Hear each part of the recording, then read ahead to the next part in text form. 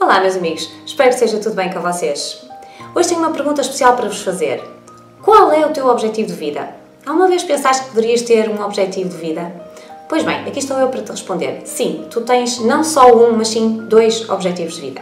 Aliás, objetivos de vida em termos astrológicos é aquilo que os astrólogos chamam de cauda ou cabeça de dragão, ou nódulo norte e nódulo sul, mas eu gosto de chamar como objetivo de vida.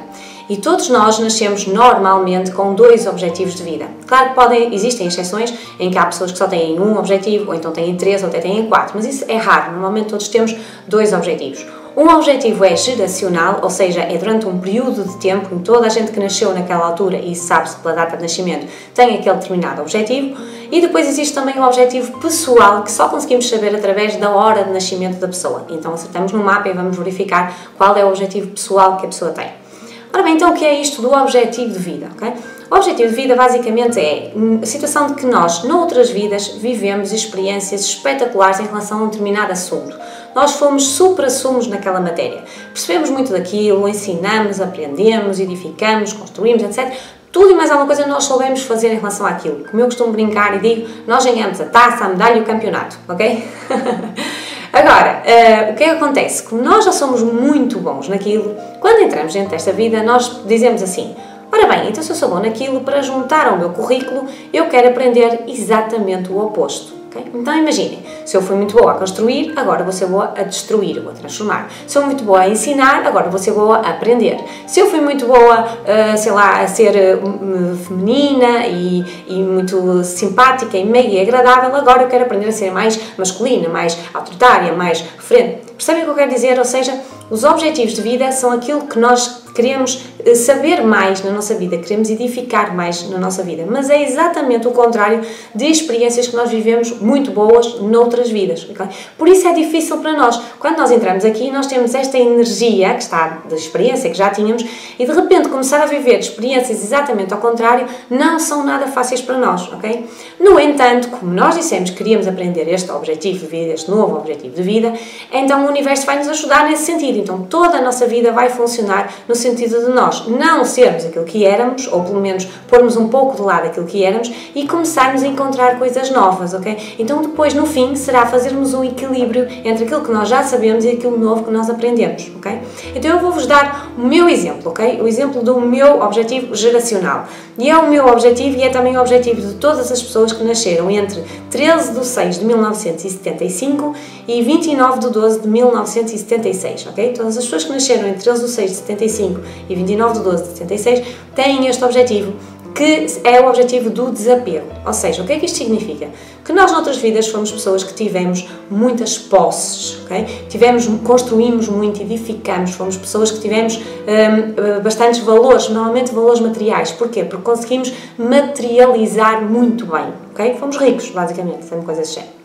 Agora, quando entramos dentro desta vida, o nosso objetivo é exatamente, já que eu fui uma boa construtora, agora vou ser boa destruidora, ou seja, uma boa transformadora, ou seja, abrir mão das coisas, ou seja, o desapego, ok? Perceberam? Então o que é que acontece? Se, quando, desde que eu nasci, e todas as pessoas que nasceram nesta data têm a mesma energia do que eu, e não me venham dizer que isto é só uma questão uh, esquisita, porque não é.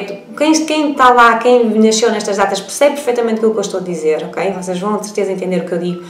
Quando nós nascemos e desde os primeiros anos de vida, nós temos a tendência em apegar-nos às coisas, apegar-nos às pessoas, apegar-nos aos sítios, ok?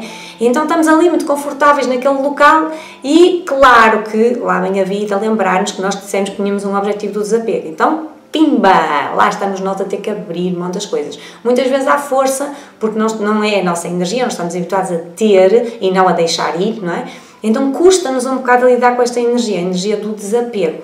Mas ao longo da vida, conforme nós vamos levando na cabeça tantas vezes e tantas vezes, nós começamos a perceber que, ok, nós temos que deixar ir, ok, eu não me posso apegar a nada, não me posso apegar a ninguém, não me posso apegar a nenhuma situação.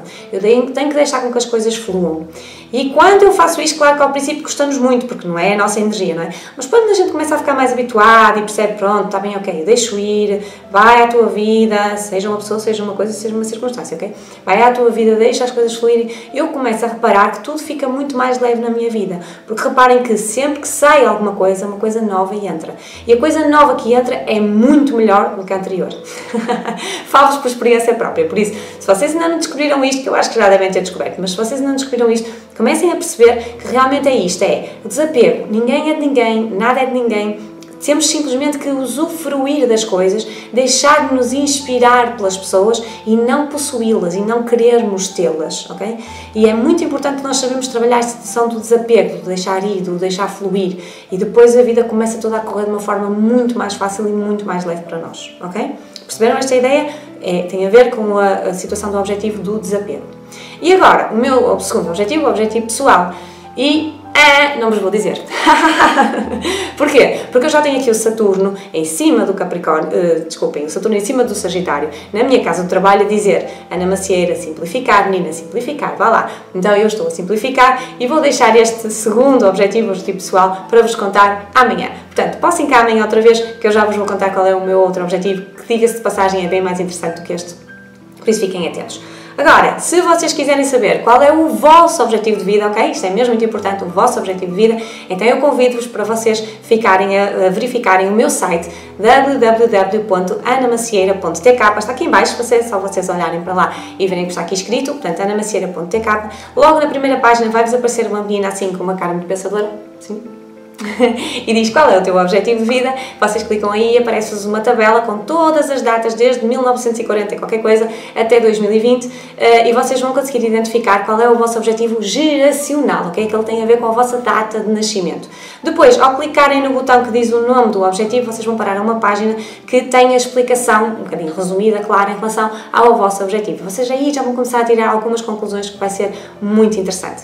Agora, em relação ao vosso objetivo pessoal, Obviamente que tinha que saber a vossa data de nascimento para conseguir isso e por isso é que eu vos convido para vocês aparecerem na próxima sexta-feira, dia 10 de junho, das 21 às 23, das 9 da noite às 11 da noite, no meu espaço, porque nós vamos falar sobre isto dos objetivos de vida.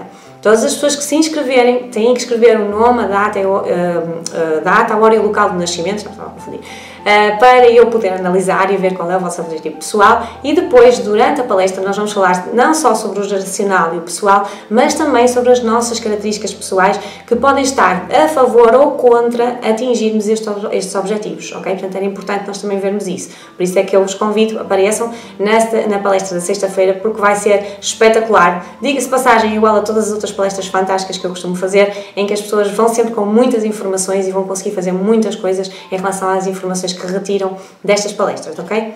No entanto, hum, se tu estás no Brasil, na América do Sul, em Lisboa, em Faro, na França, sei lá, seja lá onde for, e não podes vir a esta palestra, eu tenho aqui uma sugestão para te fazer, que é todas as pessoas que subscreverem a minha newsletter até ao dia 20 de junho, até ao dia 20 deste mês, eh, vai lá estar escrito um campo opcional que vai ser para colocar a data, a hora e o local de nascimento e se vocês colocarem lá esses dados e me disserem que querem, eu não só vocês vão estar a subscrever a minha newsletter e vão passar a receber todas as informações em relação aos meus vídeos, em relação às minhas palestras, em relação aos meus cursos, às minhas consultas, etc.